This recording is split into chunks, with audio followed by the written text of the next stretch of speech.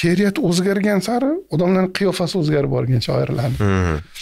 Misol uchun o'ttizinchi yillarni shoirlariga qarasangiz bir e, o'sha do'ppi yaktak umuman ham odamlar shunaqa kiyinganku kiyingan. Lekin o'sha paytni o'zida bitta sakrash bo'lganda birdan hammasi e, galstukli. xuddi davlat odamlariga o'xshab kiyinishni boshlagan. Abdulla oripov yutug'i va abdulla oripovlarni davrini nimasi divonavorlik ruh lirikani she'riyatga qaytargan va sochlari to'zg'ib sekin bu qiyofa paydo bo'lgan. Keyin yetmishinchi yillar avlodi kirib kelgan. Yetmishinchi yillar avlodi jangchi bo'lgan.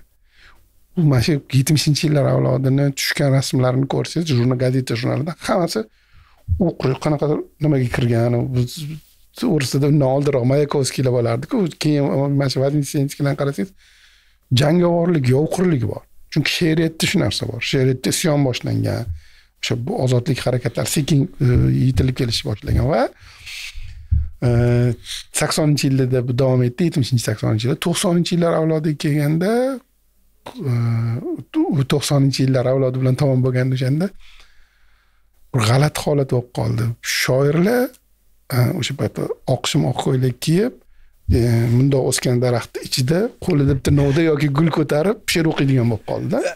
Hazillanib chiqib ketgan shoirlikning nechinchi belgisi deydilar bunaqa daraxtlar oldida bunaqa bunaqa rasmga tushasiz yo'q nimaga o'shanda aytganman chunki she'riyatni mazmuni shunaqa o'sha payt she'rlarga qarasangiz o'ldim kuydim qotdim ijtimoiylik umuman yo'q.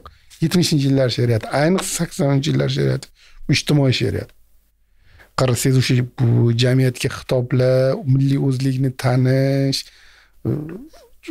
shunaqa nimalar bor. Va shu talab qilgan e, e, ijodkorni tashqi ko'rinishini ham. To'qsoninchi yillarda g'irtmos o'sha e, daraxtlarni soyasida majnuntol tagida novda ushlab turgan sal to'g'risini aytsam erkakka ham uncha o'xshamaydigan shoirni qiyofasi to'qsoninchi yillar she'riyatini qiyofasi edi butunlay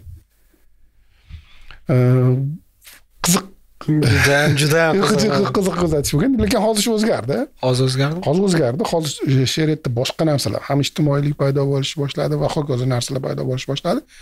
Ya'ni o'zini shaklini izlayotgan men bitta qilib o'zbek adabiyoti faqat yigirmanchi asr ma'nosida ham e, falondaqa adabiyot falon shakldagi adabiyot deb ta'rif bera olmagan bo'lardim.